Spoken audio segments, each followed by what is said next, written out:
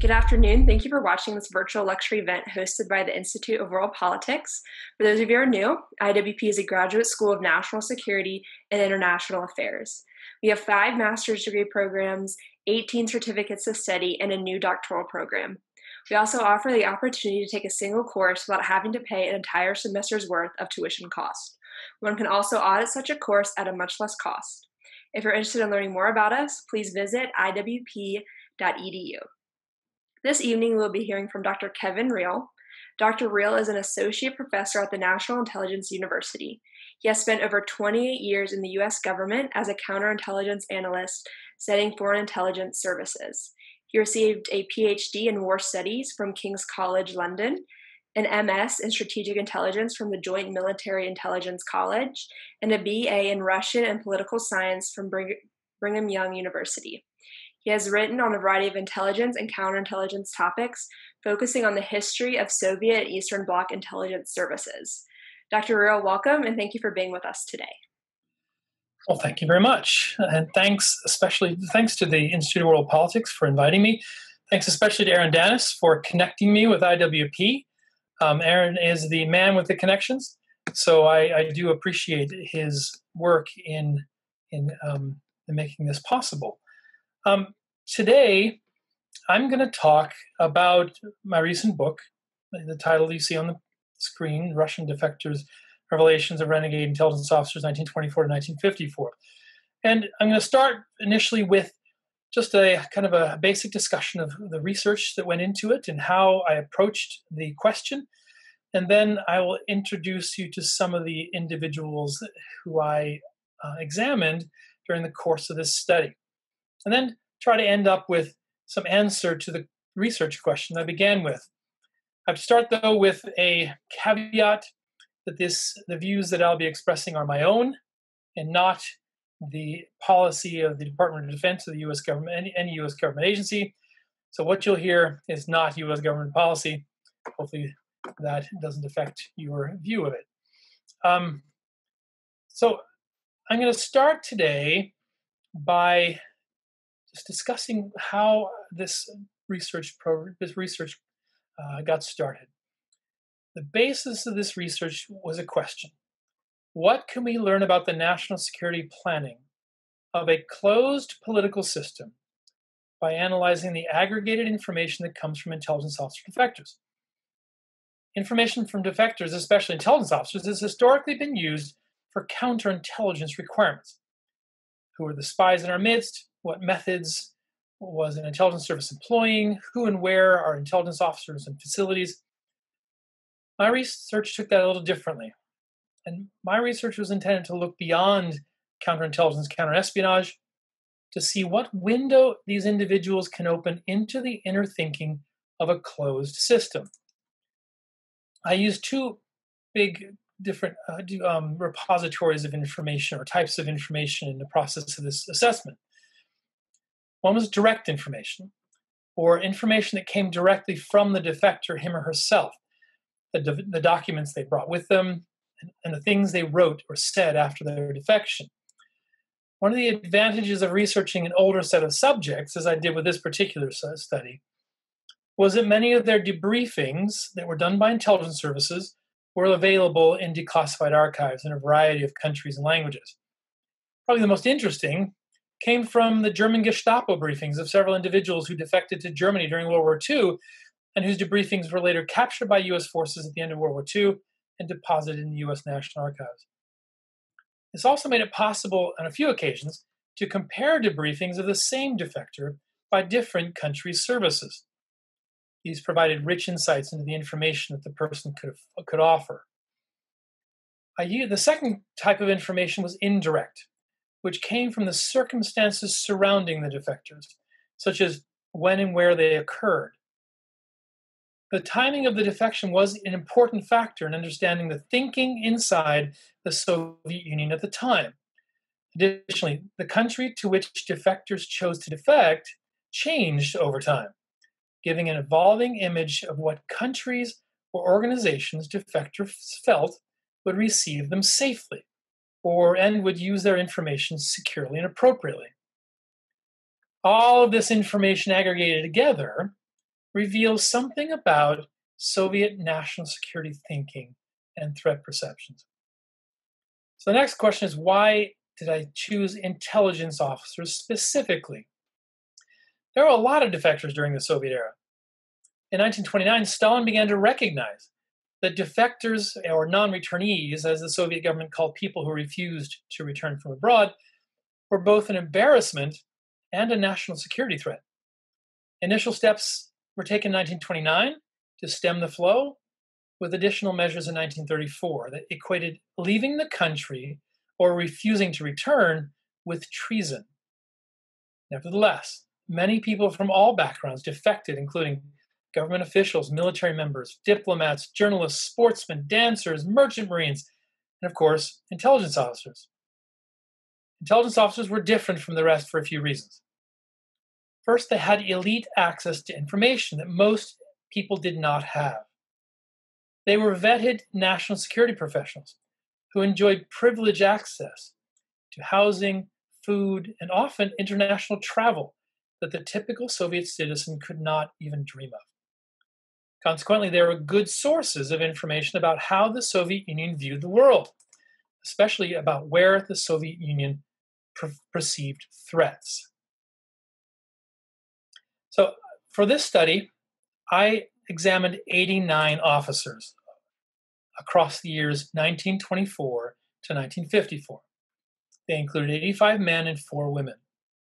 The time frame somewhat shows itself. The first recorded Soviet intelligence officer defector was Pyotr Karpov, who defected in Germany in 1924. The endpoint came after a cluster of officers defected soon after Stalin's death and Lavrenti Beria's execution in 1953 that ran then into 1954. The choice of subjects was scoped by the phrase Soviet intelligence officer and defector. So, first, I chose only individuals who worked for a Soviet intelligence or state security service, both civilian and military. This excluded some prominent defectors from other Eastern Bloc countries during the same time. Just incidentally, I published a separate paper last year that discussed defectors from Eastern Bloc, the, the Eastern Bloc overall, in the first two decades after World War II, but this book covers only Soviets. Secondly, I chose staff intelligence and state security officers, not co-optees or agents. Staff officers had a different relationship with information, more first-hand information, and so they were more, uh, they were better sources of that insider thinking. And third, I chose those who physically defected and offered themselves to another country which excluded individuals who remained in place as agents. In intelligence literature, the phrase defector in place is sometimes used to describe someone recruited as a penetration agent who remains in their place of work. I did not include anyone who fell into that category, in part because if they're a defector, they're actually no longer in place, and so the phrase defector in place is an oxymoron. A decision to defect is different from a decision to become a penetration agent. It was usually a more wrenching choice to break permanently from a home country, knowing that by doing so, there would be no going back without consequences, and that the consequences would affect not just the individual, but the individual's family, whether they returned or not. Consequences on the family were often what prevented penetration agents from defecting.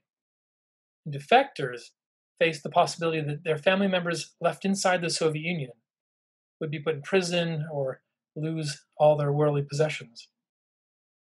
That made defection a hard choice, which was obviously the reason the Soviets, Soviet Union put those rules in place in the first place. I did, however, include people who defected, but who later decided to go back to the Soviet Union. Over the course of the Soviet history, there were a few of those but that almost always led to disaster for the defector. But um, um, but because they did make the decision to defect in the first place, I included them. I also included some who offered to defect, but whom the Soviet state security system caught before they could culminate their decision. Again, they made the choice even if they were unsuccessful. So the list of 89 individuals divided naturally into five chronologic groupings based on both the world situation at the time and the circumstances inside the Soviet Union. In the next few slides, I'll introduce some of the people who fall into these groupings, but I should first explain the longest period in Soviet history without any intelligence officer defectors at all. That's from 1931 to 1936. Actually, that is the longest period in the entire, uh, not just during the uh, the time of my book, but even up until the end of the Soviet Union, and it appears even since the Soviet Union, as there have been continued, there have continued to be defectors from Russia um, uh, in the post-Soviet era. As I mentioned earlier, Stalin noticed in 1929 that the numbers of defectors and non-returnees were increasing throughout the 1920s, climaxing in 1929 when over 70 Soviet officials refer, re, refused to return home from abroad. In his typical blunt way, Stalin demanded that the problem be stopped. That led to an eventual decrease based upon new rules that governed the lives of Soviet officials abroad. But the slowdown did not come in, uh, um, immediately, and it actually didn't start coming until after 1930 which could be called the first year of the defector for the Soviet Union. Um, five OGPU, or civilian officers, and Razvedupr, or military intelligence officers, defected in that year alone. And several other defectors who had previously defected became prominent when they published their revelations during that year. It was a particularly bad year for Soviet, the Soviet Union in relation to defectors. But the, the measures did have an effect, and it took another even stronger catalyst, stronger than the fear that defection, that those rules put in place for defection, for the next group of officers to defect. So now I'm going to just introduce you to those groups, to the people in those groups. I, I'm going to show you some photographs, and I'll tell you now that I don't that photographs of all of these 89 are not available. I'll discuss that a little bit as I go along, but you'll see just if, in some cases only a few photographs. And this is just to give you an idea of who some of these people are. The first group uh, uh included defectors and intelligence and state security officers who defected from 1924 to 1930. Many of the defectors in this first group began their careers as enthusiastic Bolshevik adherents. Um, Nesterovich and Zivotofsky, for example, in the top right and left, were senior Bolshevik officials. Arutyunov, who was on the uh, in, um, in, the bottom, uh, sorry, middle right, and others who are not pictured, like Dumbadze, were young when the Bolshevik Revolution occurred and fully supported it at first. Drugov, who's on the bottom left of this chart, was a socialist revolutionary, not a Bolshevik, but he was included as a member of the first Cheka Presidium, or the first state security organizational Presidium each of the 16 officials in this group eventually lost their faith in the system. And even more so, they lost their faith in the people around them. Others in this group were not convinced Bolsheviks, but cooperated out of, out of a sense of personal survival.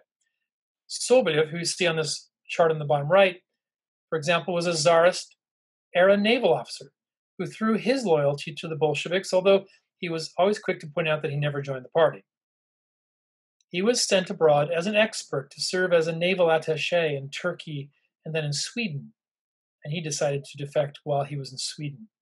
It wasn't unusual during the early Soviet days, particularly in the military, for the Soviet for the Soviet Union to use non-Bolsheviks who had some expertise.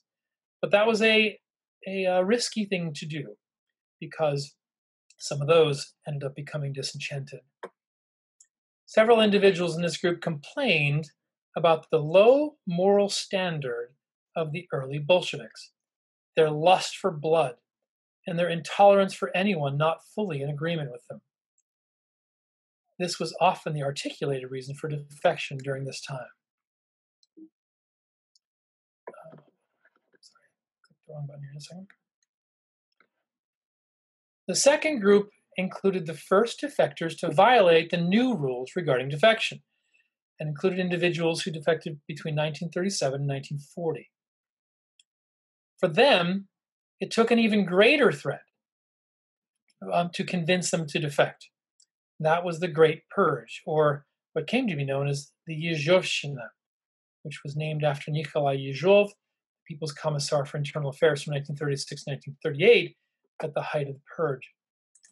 Most of the eight officers in this group joined a Soviet intelligence or state security officer at about the same time as the defectors in the previous group. But these officers persevered through the 30s, most of the 30s, sometimes participating in the very actions that led earlier officers to defect.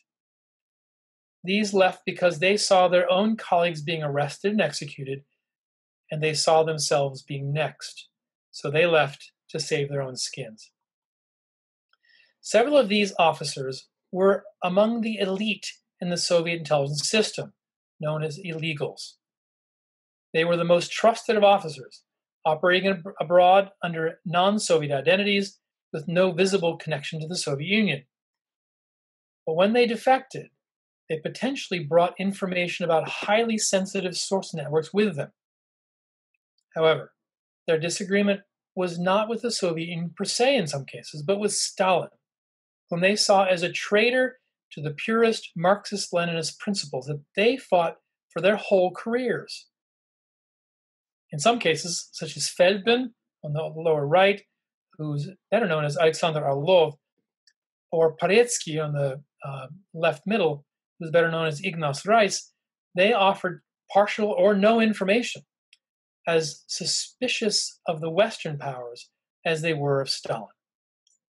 Others like Ginsberg, Volodarsky, who were illegals, and Graf, who was an embassy based military intelligence officer, eventually opened up and provided significant information about Soviet decision making. Either way, the timing of and reasons for their defections were significant. The next group of defectors broke with the Soviet system during World War II and immediately afterward. In the months after the initiation of Operation Barbarossa, which began on the 22nd of June 1941, German forces penetrated deep into Soviet territory. It's likely that thousands of Soviet intelligence state security personnel fell into German captivity during that time. The first Soviet personnel exposed to the German onslaught were NKVD border guards and internal security troops, who were um, an unknown of an unknown number of whom were captured, and some offered their services to their captors. Defection requires access to a foreign power, to which an aspiring defector can offer him or herself. Before World War II broke out, tight control over the Soviet population and severe limitations on interactions with foreigners meant that a defector had to make a conscious decision to approach a foreign power, either while posted outside the Soviet Union or by walking across an international border into a neighboring country. That changed when German forces invaded the Soviet Union. And millions of Soviet personnel were suddenly exposed to foreigners, not by their own choice, but by a foreign power coming to them. Of the 32 officers I examined in this group, 18 were captured on the battlefield between 1941 and 1943, most of which defected once they were already in captivity, either to the German army or to dissident Soviet forces, mostly under the command of the defected Soviet Major General Andrei Vlasov. A few others were already abroad under diplomatic cover, including the, the three of them on this chart Akhmedov, Gouzenko, and an officer using the pseudonym Volkov, who are the, all three on the bottom right of this chart.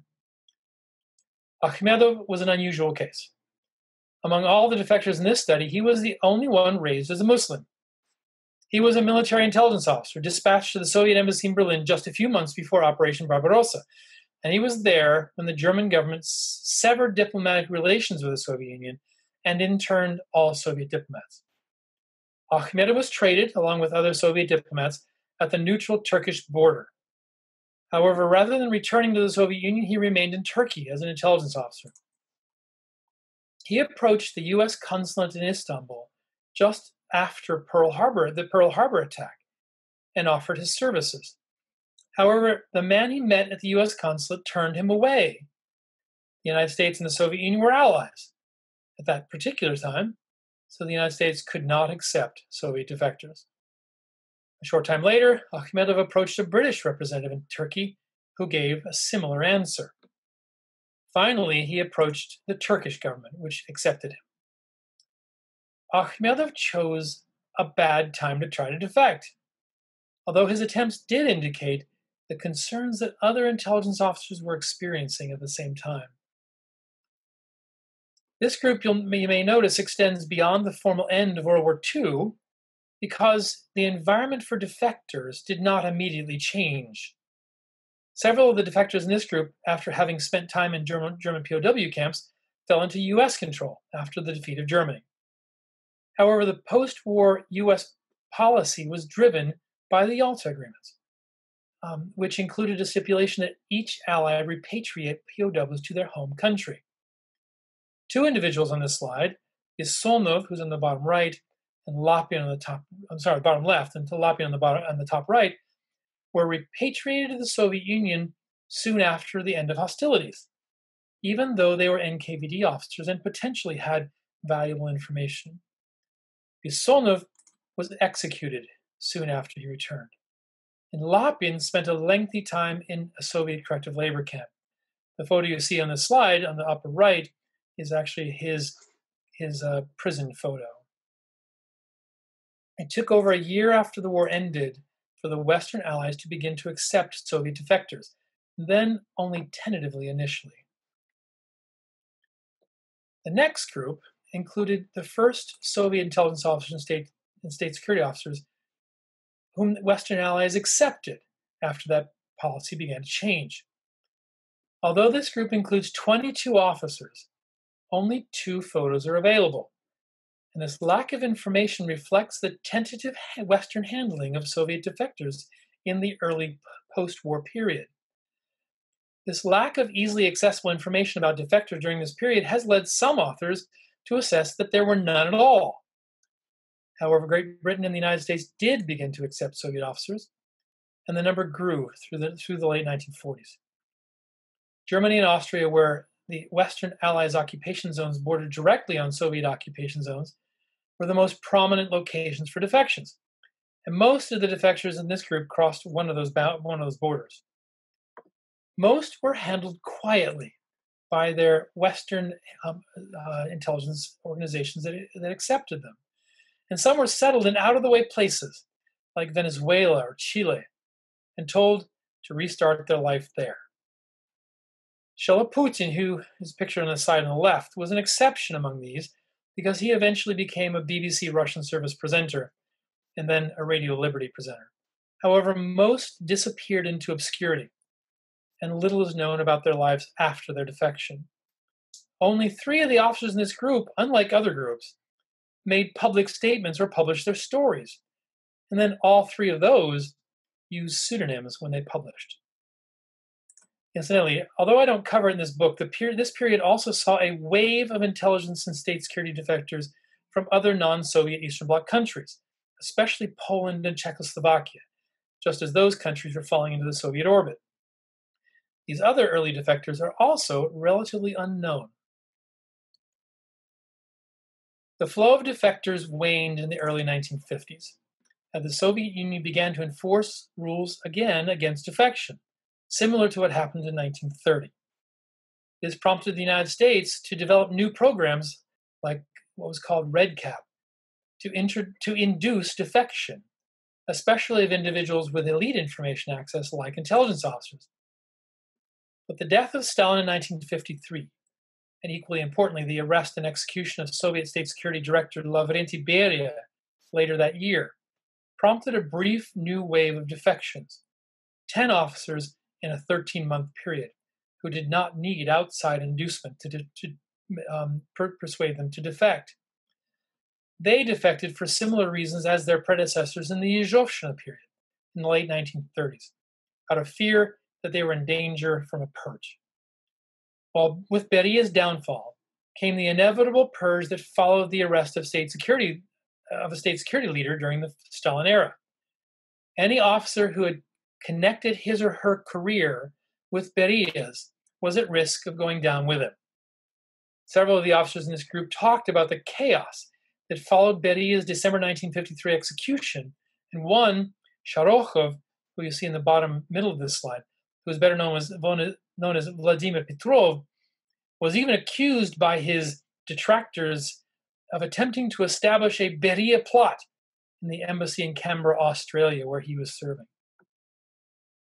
Like in other periods, several of the officers in this group were illegals, and they represented the post war Soviet emphasis on re-establishing the illegals program. Brik, Khokhlov, and Lindstrom, who you see on this chart, um, among, along with one other officer from this group whose name and photograph are not available, were all recruited as illegals in the late 1940s and early 1950s, usually because they had linguist skills that the Soviet intelligence service valued. Khokhlov, for example, could speak German eh, well enough to pass as a German. Brik spent part of his adolescence in the United States and had a convincing American accent. Lindstrom was of Swedish descent, uh, living in Estonia, and could fit easily into Scandinavia. The illegals program continued throughout the Soviet era and into the post Soviet era, as evidenced by the compromise of illegals in the United States, Spain, and Germany in 2010 and 2011. Among these photos is the only one available of a female intelligence officer defector, Evgenia Kartseva in the bottom middle with her husband, but who's better known by her operational pseudonym Evgenia Petrova. Three other women were among the 89 officers in this study, one during World War II and two um, during the early Cold War period. But they are among the lesser known defectors, and no photos of them are available. So, what did we learn? Start off with a question of what can we learn from this, this the aggregated information of these defectors. So, what did we learn? By examining 89 people across 30 years. Um, these officers cover mostly Stalin's reign, so most of the lessons apply to that period directly. However, some may be extrapolated to other periods as well, including possibly to today. First, the motivations of defectors changed based on the circumstances around them. Sometimes motivations were directly related to the missions that defectors were tasked to perform or the people they associated with, and their disagreement with those missions and the people. Sometimes defection was caused by the unstable situation inside the Soviet Union, especially during purges or after policy changes. Foreign intelligence services have studied defector motivations, often with the goal of appealing to those motivations to induce more defections. The first documented study of, a Soviet, of, of Soviet intelligence state security officers, defectors, was done in 1948 at the request of the Joint Intelligence Committee in the UK. It examined 20 defectors over the previous 20 years and compared, among other things, their motivations. The CIA studied defector motivations during the Cold War, with some CIA officers concluding that personal problems like relationship issues or the um, the um, uh, catalyst of a, of a, of a woman in particular for, for some of these who crossed the boundary into Germany, or problems with a boss, rather than ideology, were the primary motivation for defection. But the choice to defect is different from the choice to become a spy. It's more final and involves a complete break with the home country. It took more than just personal problems to make such a wrenching decision. And dissatisfaction with the Soviet system often accompanied personal, problems in that decision. Another lesson regards the fluctuating vetting standards for personnel in the Soviet system assigned to sensitive national security positions. When the Soviet Union was stable, it had the luxury of enforcing strict standards and excluded anyone from a sensitive position who had any taint of an anti Soviet past, either in their own lives or in the lives of any of their family members. On the other hand, several of the defectors examined were recruited during times of high tension in the Soviet Union, such as during the Great Purge or during World War II, when the Soviet Union needed a lot of people fast they were not vetted as thoroughly, leading some people being leading to some people being brought into sensitive positions whose family members or themselves had been arrested as kulaks or as enemies of the people, or who supported Germany during the war. This was particularly true of people with foreign language capabilities. After World War II, as Soviet forces occupied Eastern European countries, they needed linguists to assist with investigations, interrogations, and liaison responsibilities. But linguists were some of the most vulnerable of employees, and some were brought into their positions without thorough vetting. And consequently, they were heavily represented among the defectors in this study. Finally, Soviet perception of threat evolved over the 30 years examined in the study. The phrase main enemy was coined in after World War II, so it didn't impact the time before or during the war. However, there were still priority targets for Soviet intelligence and state security activities, which reflected the, perce- the threat perceptions of Soviet leaders. Early in the Soviet era, Great Britain filled that position.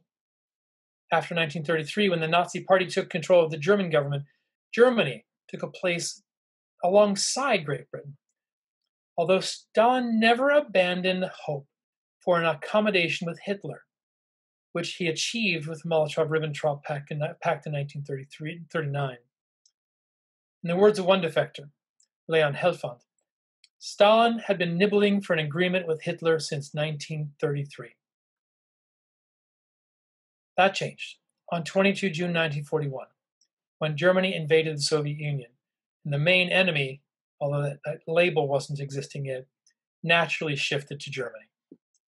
However, even before Germany was defeated, Soviet intelligence began targeting its wartime allies, especially intel- uh, establishing intelligence residenturas in places like Canada and Australia, even while maintaining intelligence liaison with the Americans and the British. Several defectors discussed independently the belief among Soviet, Soviet leaders that the next war would, uh, would follow soon after Germany's defeat and would be against Great Britain and the United States. This was in contrast to the messages that US forces were receiving at the end of the war, and that, that the Soviet Union was an ally.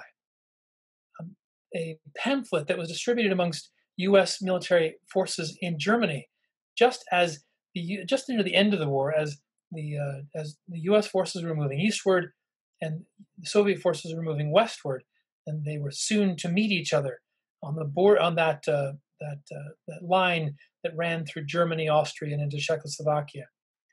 That pamphlet was titled "Our Red Army Ally," and it introduced an American audience to the Soviet military, whom with whom most had had little uh, direct interactions. That was the U.S. experience, but great. Um, uh, but um, the Soviet experience was to tell their forces that the Americans and British were the next enemy. Soon after, um, uh, soon after the war, the Soviet system initially returned to the pre-war main enemy, Great Britain, and that was the primary threat, and that was what they were, what the Soviet system was used to. But Great Britain was soon joined by the United States in what the Soviets called the Anglo-American Anti-Soviet Alliance by the late 1940s, when it was clear that, the, that Great Britain was defeated economically and was losing its empire, while the United States was assuming the role of the leader of the democratic world. The label main enemy was coined and applied to the United States, which stuck for the rest of the Soviet era and could be said to remain there today. That's my presentation, and I invite your questions.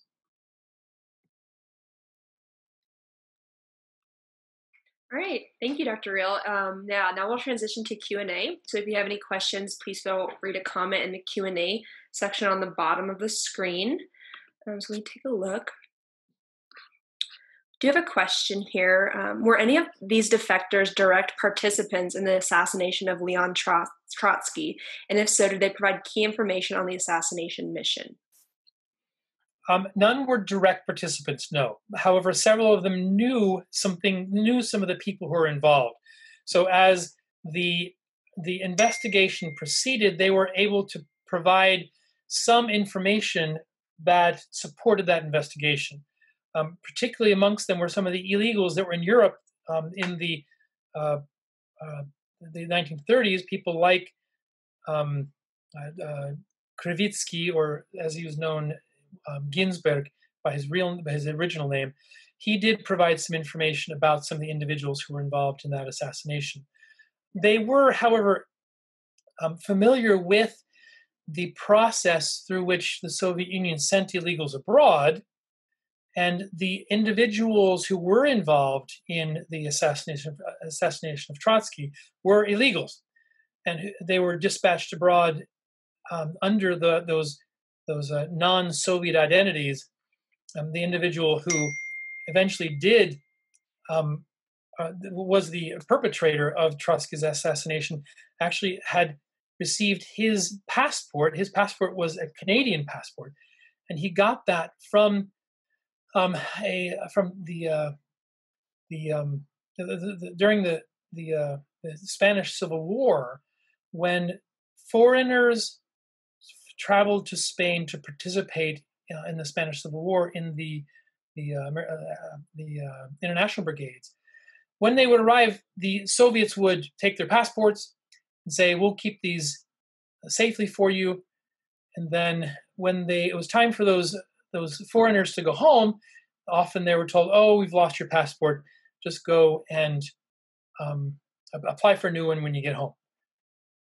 The passport that was used by the illegal who did participate in the assassination of Trotsky um, was one of those passports harvested during the Spanish Civil War. And that is something that uh, Krivitsky was able to talk about, and to a lesser extent, Feldman or Gawov as well. So they provided information surrounding that, um, although they were not, none of them were directly involved in it.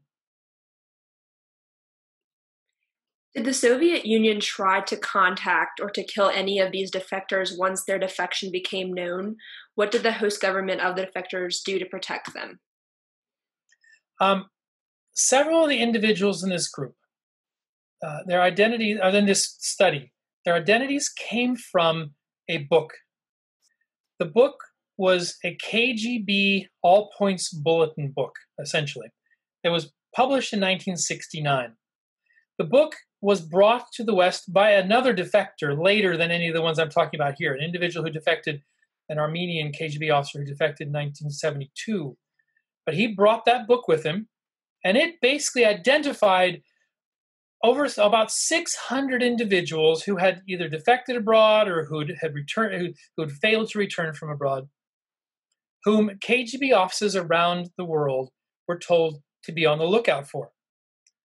Um, the purpose for that book was to persuade to, to get the KGB off, the offices, the residenturas, to do one of three things.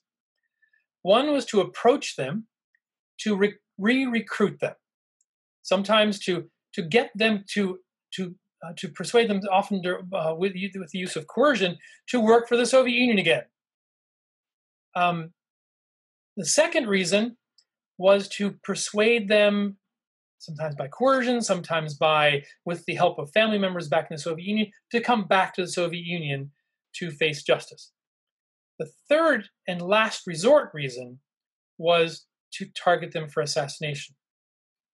Um, assassination was an unusual event during the Soviet era. Um, one of the individuals who did defect was himself an assassin. And that was Yevgeny Khokhlov, who defected in 1954.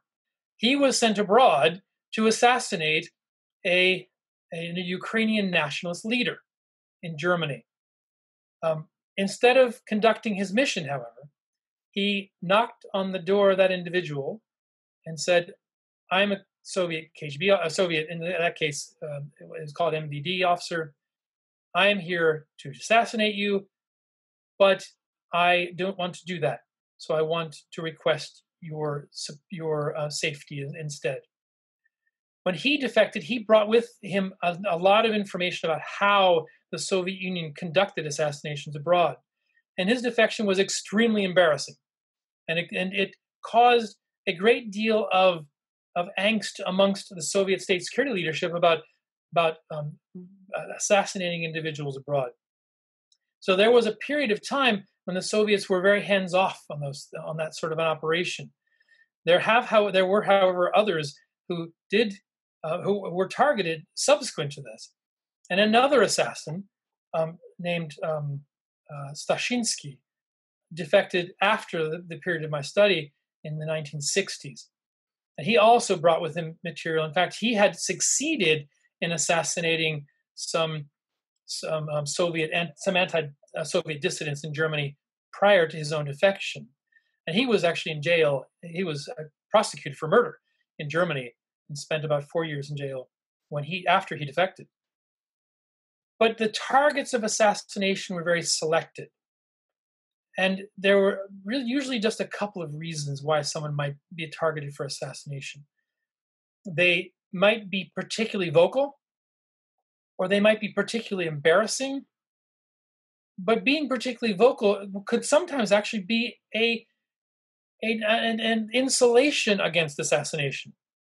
Because if you're publishing books and you are making um, public statements and appearing on news news uh, uh, uh, interviews or appearing before U.S. Congress for for uh, um, congressional hearings, assassinating you is actually probably a bad idea because it would be very noticed, and it, it it's not something that even a covert act uh, covert act operator can hide. Incidentally, Khokhlov was the target of an assassination attempt himself. Um, a few years after he uh, defected, I believe it was in the 1957 or 58, although I'm not actually positive on that year.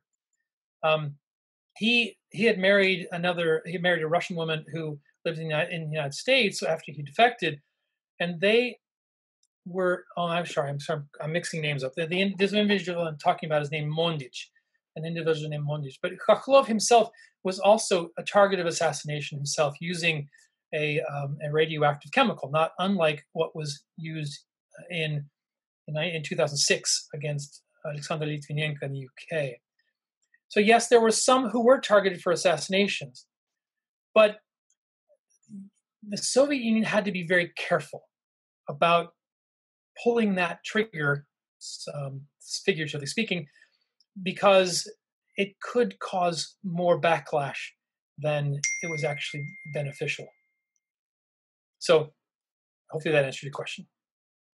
That was great. That was very interesting. Thanks. Um, the next question here Did these defectors work long term for the US government, such as Voice of America, or did they get witness protection and disappear into the American citizenry?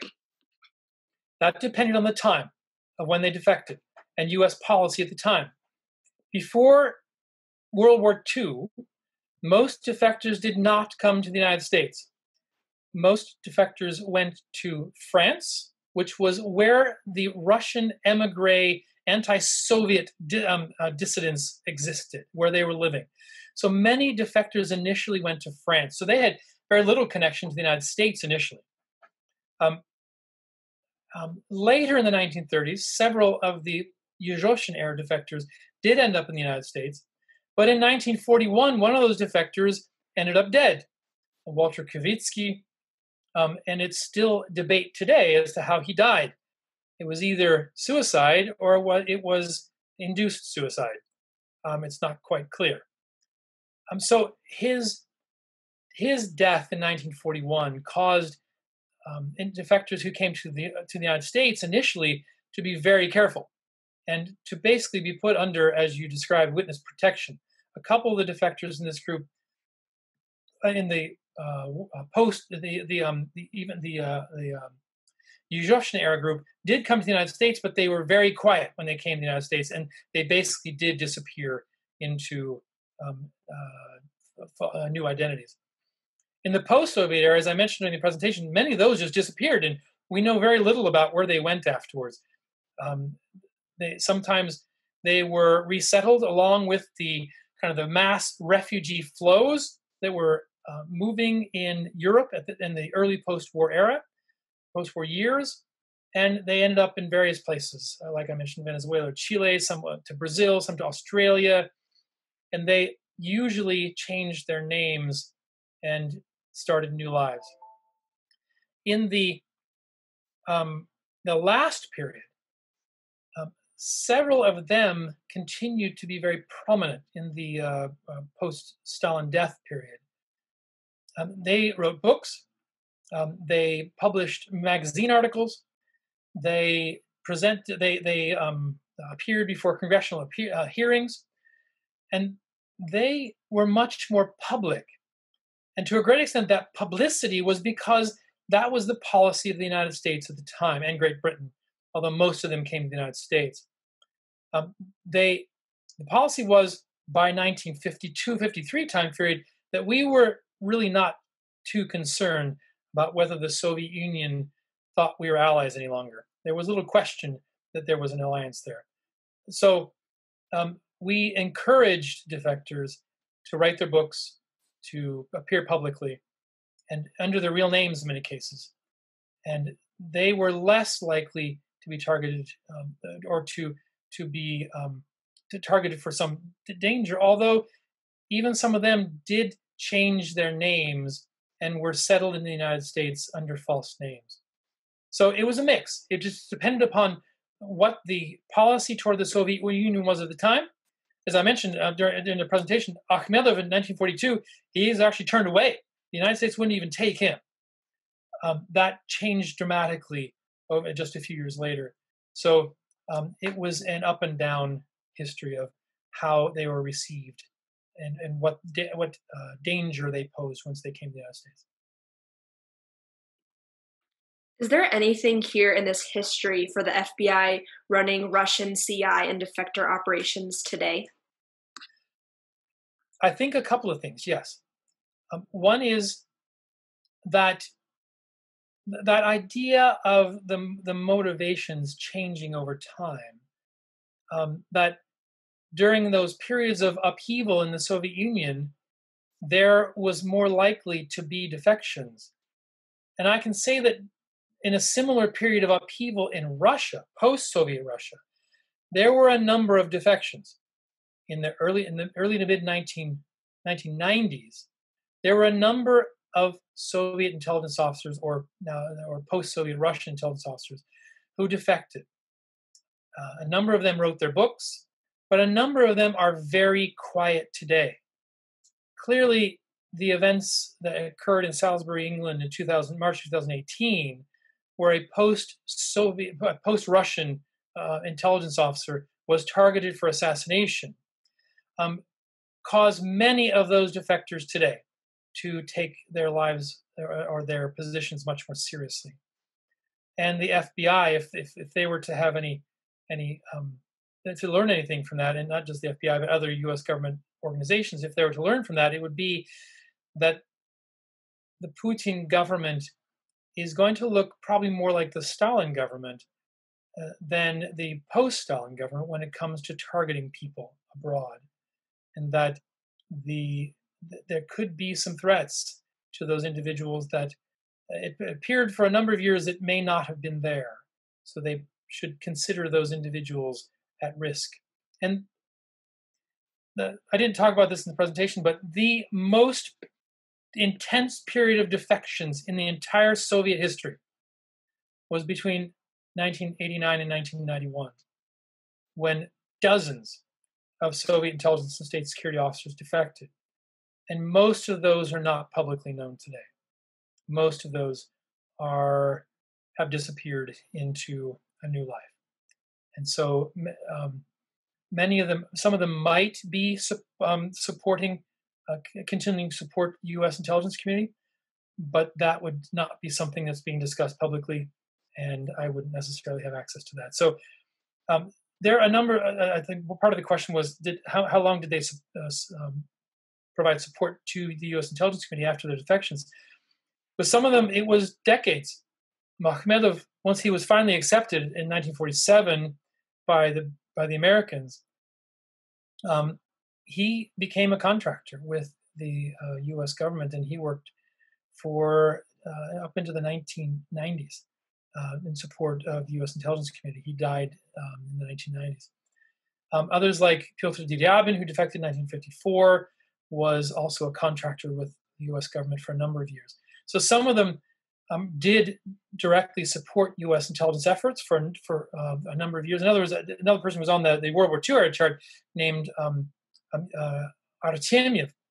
Um, Vyacheslav Artemyev also worked for the U.S. Army um, intelligence for a number of years until he died, probably in the 1970s. So um, yes, the, among them there were there were many who did support U.S. intelligence. Uh, as I mentioned, some of them were less enthusiastic about that. Some of them did um, have some ideological biases that made that more difficult, particularly before World War II.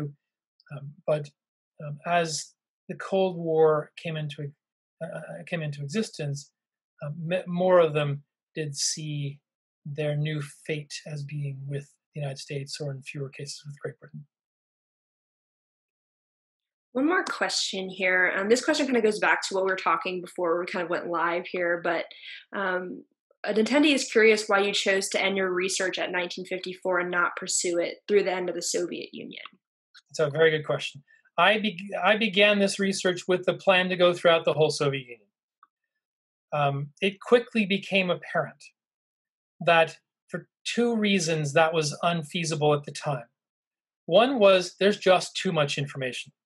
There is so much information about these individuals available from declassified um, archives from across the world, not just the United States, but Great Britain, Canada, Australia, Sweden, Finland, Norway, Germany, France, um, Latvia, and all of those that information was available in discussing these defectors. So I stopped at that point, par- point partially because of just the volume of information. Another reason I stopped is because the later you go in history, the less information there is available publicly. Um, and the, the more you need to rely on uh, newspaper reporting or, or less authoritative sources than de- declassified intelligence uh, debriefings and those sorts of things. So 1954 was a good place to stop because that was where that a lot of that archival material started to dry up. However, as as uh, she's mentioned, um, I am in the process now of doing that second half, basically the second volume, where I, I am looking at uh, another probably close to 80 or so officers that are publicly known post 1954 even into the post Soviet era, where there have been probably a good dozen, uh, at least, that have been publicly known, several of which have written books and have been publicly quite prominent.